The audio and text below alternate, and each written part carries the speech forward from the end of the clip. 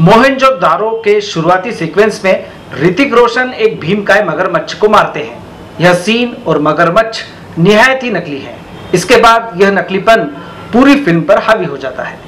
आश्चर्य की बात है कि इस फ़िल्म से आशुतोष गोवारीकर और ऋतिक रोशन जैसे लोग जुड़े हुए हैं और करोड़ों रुपए खर्च कर ऐसी फ़िल्म बनाई गई है, जिसका कोई और छोर ही नहीं है। गाँव में रहने वाला सरमन मोहनजो दारो नामक शहर में जाता है।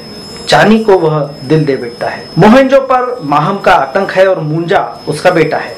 चानी की शादी मुंजा से तय है। वर्षों पहले सरमन के पिता की हत्या माहम ने की थी। सरमन न केवल अपने पिता की हत्या का बदला लेता है, बल्कि चानी और गाँव वालों को बचाता भी है। इस घिसी पिटी कहानी को आशुतोष गोवारीकर ने लिखा है। मोहनजो दारो की पृष्ठभूमि में उन्होंने अपनी इस घटिया कहानी को चिपका दिया और सोचा कि दर्शकों को वे मोहनजो दारो के सेट कॉस्ट्यूम और भव्यता में ऐसा उलझाएँगे कि कहानी वाली बात दर्शक भूल जाएँगे।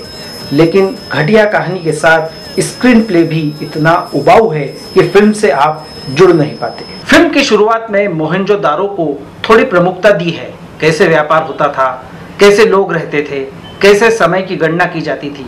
लेकिन धीरे धीरे मोहनजो दारो और वर्षों पुरानी सभ्यता पीछे छूट जाती है।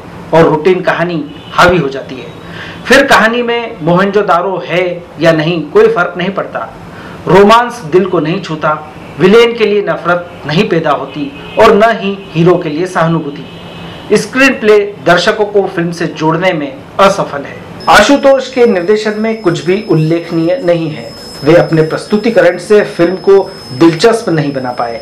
जिस तरह से उन्होंने कहानी के बीच गानों को डाला है उससे फ़िल्म का बनावटीपन और बड़ा है। बकर और जोकार से सरमन का फाइटिंग सीन छोड़ दिया जाए तो फ़िल्म में कुछ भी देखने लायक नहीं है। ऋतिक रोशन ने पूरी ईमानदारी से कोशिश की है, लेकिन उनके कद और मेहनत के साथ फ़िल्म की स्क्रिप्ट न्याय नहीं करती। वे भी बेदम स्क्रिप्ट के ताले असहाय नज़र आए। उनका लुक भी बेहद आधुनिक है, जो आँखों में खटकता है। पूजा हेगड़े का अभिनय औसत दर्जे का है और वे बिल्कुल प्रभावित नहीं करती। ऋतिक के साथ उनकी केमिस्ट्री बिल्कुल नहीं जमी।